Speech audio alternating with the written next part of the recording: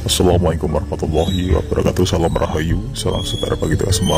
Salam paling rahmat dan berkahan bagi kita semua. Amin ya rabbal alamin. Nah, oke, kali ini Mahmud ingin memberikan pawajangan tentang ini ya. Ini adalah uh, pendeman ari-ari ya dalam masyarakat Jawa. Ini adalah pendeman ari-ari ketika bayi sudah lahir. Nanti uh, ari-ari dari si jabang bayi dipendem di depan pintu. Di depan pintu dan nantinya uh, jika laki-laki dipendam di sebelah kiri kiri pintu jika nanti perempuan dipendam di sebelah kanan. Jadi laki-laki di sebelah kiri dan perempuan di sebelah kanan. Nah ini filosofi kalau laki-laki itu jika menghadapnya ke sini akan menjadi kanan ya jadi tatangan ya tatangan itu jadi pelindung.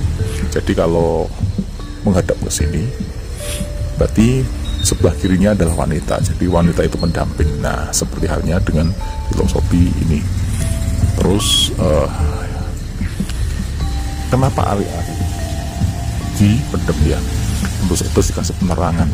Salah satu fungsinya adalah agar si jabang bayi mendapat pepadang. Itu filosofinya ya. jadi mendapat pepadang dari apa yang diharapkan orang kurang tuanya terus kenapa ini nanti? Selama nanti biasanya 40 hari. 40 hari selapan ya selapan 45 uh, 35 hari sampai 40 hari diberikan penerangan. Ya memang seperti itu. Nanti bekas puputannya juga kita di sini. Nah itu.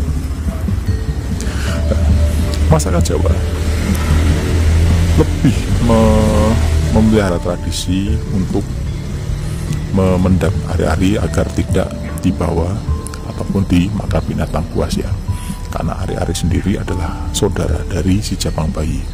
Jadi dalam masyarakat Jawa ada sedulur papat kali mau pancer jadi kakang kawah ya di hari-hari. Jadi manusia ketika lahir kawahnya dulu sebagai pembuka jalan baru ari-ari atau adi ari-ari sebagai tempat keluarnya makanan cadangan. Ya termasuk jana ada pusarnya juga puputan pusarnya ya.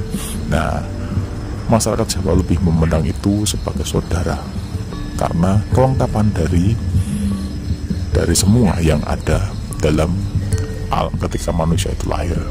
Tetapi jika dilihat jika dilihat ya sekolah sekarang itu orang tidak begitu peduli. Orang zaman dulu ada yang memilih memendam ada yang memilih melarung. Nah jika dilarung resikonya juga nah, membuat pencemaran ya jika airnya tidak mengalir. Tetapi jika dipendam itu lebih aman. Dan dengan filosofi itu biasanya dalam memendam di bawah sini itu diberikan beberapa simbol-simbol ya.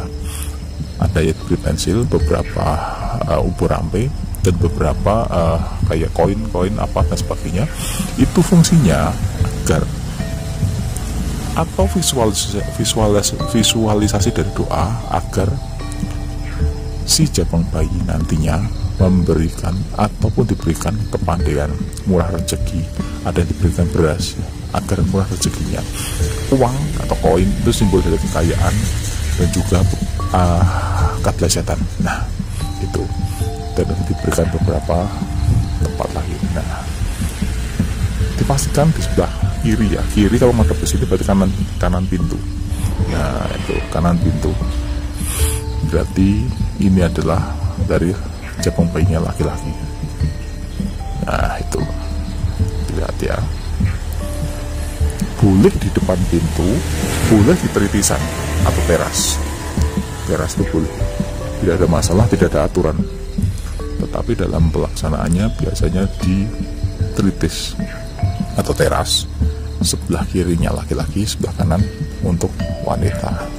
Itu. Nah apa budaya baik ketika memendam area dengan metode seperti ini? Sebenarnya tidak ada. Hal yang baiknya adalah semua kelengkapan dari sang jawab bayi dipendam dipelihara agar terawat. Bukan dirawat dalam tanda kutip ya dirawat agar tetap menjadi dunung ataupun sebagai pancernya si Ari-Ari sebagai pancernya si jabang bayi ya agar nantinya ketika beliau nanti jabang bayi ini nanti gede ya diharapkan doanya tetap tersalurkan. Dan yang terpendam di sini tetap memberikan. Karena ini Ari-ari itu bisa dikatakan sebagai jabang bayi. Saudara saudara konflik kalau ada yang tidak percaya ya monggo. Tetapi dalam segi masyarakat Jawa semua orang lahir itu memiliki saudara. Baik yang namanya korin ada yang menyebutkan korin ada yang menyebutkan saudara gaib ada yang menyebutkan adalah bawaan gaib.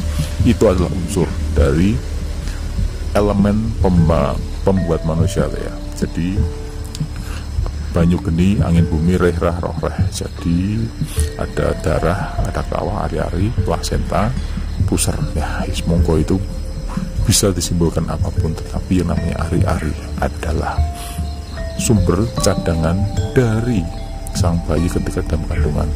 Berarti ini adalah panguripan dari sang bayi. Dan sejatinya sumber dari penguripan itu adalah yang meniupkan roh yaitu Allah Subhanahu wa taala bukan yang lain.